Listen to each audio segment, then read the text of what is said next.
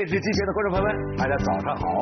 吟诗交作家常菜，窍门一点就明白。更何况呢，现在我们这个正月还没过呢，所以呢，严格的说，还得问一声，新年好。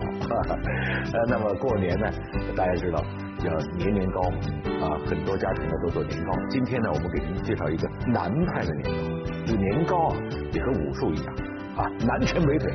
这北派年糕和南派年糕是不一样的。我们这个年糕的这个做法呢，也很特别，叫做茶树菇炒年糕。有请我们上海来的大师钱以斌先生。钱以斌，上海人，国家级评委，今日推荐茶树菇炒年糕。现在很多年轻人呢，一听说炒年糕啊，就想起那个大长今里边那个呼啦啦呼啦啦啊祖啦，都是韩国的？这个炒年糕可是咱们地道的国货，是不是？对对对。呃，但是今天钱师傅教咱们做的这个茶树菇炒年糕，这里边能到什么？咱们先介绍一下我们的主要。好的，那今天我主要用到的那个主要的那个原料是茶树菇，茶树菇，嗯，离不开我们的这个水果年糕，水果年糕。那么我炒菜啊，还有一些那个牛仔粒，还有一些那个蒜苗。哦，主要的调料呢有那个 XO 酱，一些那个小料，然后还有一个鲜味汁酱油膏，肯定做出来好吃啊。对，呃，也好学。咱们边做边聊。第一步，我给你打下手，怎么做？先把年糕切成小粒，切成小粒。对啊，这个年糕保存呢，一定要泡在那个水里，不然你放在冰箱里或者是外面的话，容易那个干裂啊。对，干裂。过年啊，咱们北方人呃必须要吃吃饺子，而南方人必须吃的就是年糕，特别是那个江浙地带，对吧？嗯，图个吉祥啊。年糕粒已经切好了，我们再给茶树菇。现在切那个茶树菇粒，那么这个大小跟那个年糕都差不多。哎，这个我们今天用的茶树菇是鲜茶树菇，鲜的，因为这个茶树菇一定要选用比较粗一点。对，下一步就是开始点火，点火，做水啊，不要做水，不做水，要加油，加油，锅子烧热以后加油。锅烧热以后加油，加油，加快一点吗？呃，稍许多一点，因为要炸这个茶树菇的。对。可以，这个茶树菇炸一下，它会更更好。这个主要炸炸到它外面那个起那个硬皮，这样的话那个口感吃起来比较好一点。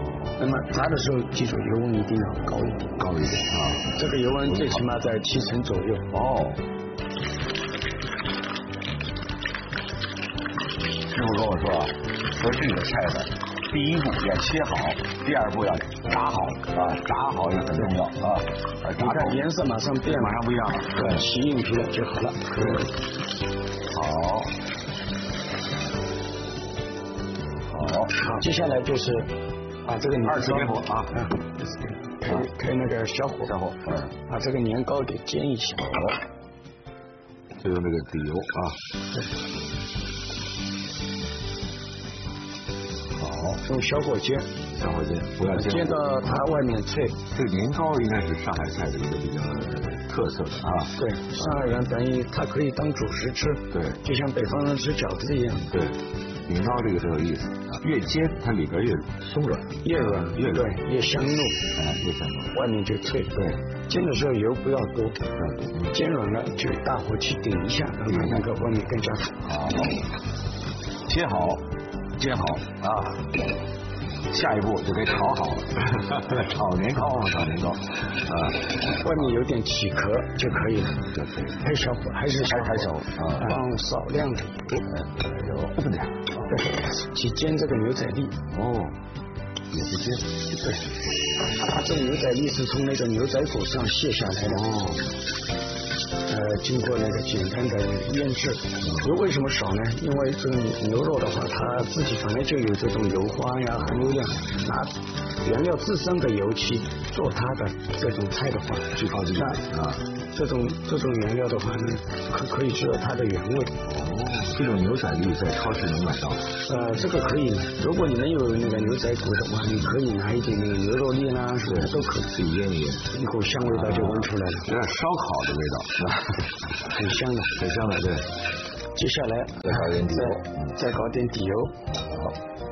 是、干葱、蒜片、那个葱段。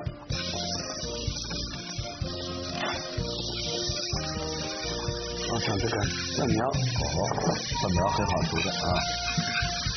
呃，香味出来以后啊，加上那个 XO 酱。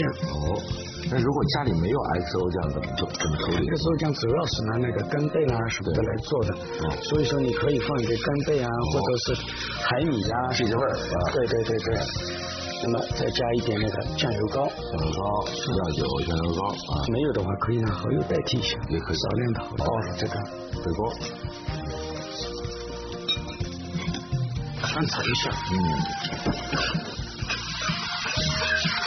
哦，加一些糖糖啊，加一些那个老抽老抽，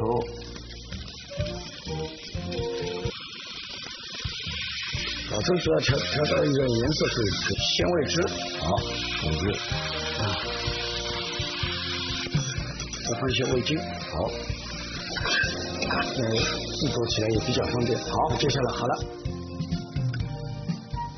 我们再点缀一点，这个叫什么土豆松？哦，土豆松啊！上海菜它的味道点到为止，不要太过于重啊。对，呃，今天这个菜一看也很漂亮啊，老年糕啊，就大功告成。这样啊，您再从头呢给我们复述一下几个环节。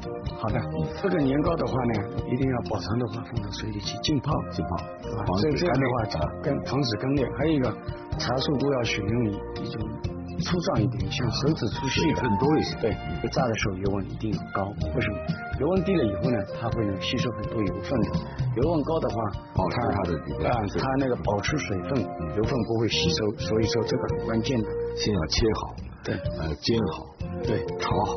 注意口味方面还有一个问题啊，就是你不要去加很重的这种，是是是，因为那个时候酱也咸的，酱油膏也咸的，特别是老抽啊那个。啊，这这这方面要注意一下。对，啊，年糕的话，外脆，对吧？哎，比较糯的，那牛肉的话比较鲜嫩。但是有一点一定要嘱咐大家，就是老年人和小朋友吃年糕的时候要细嚼慢咽。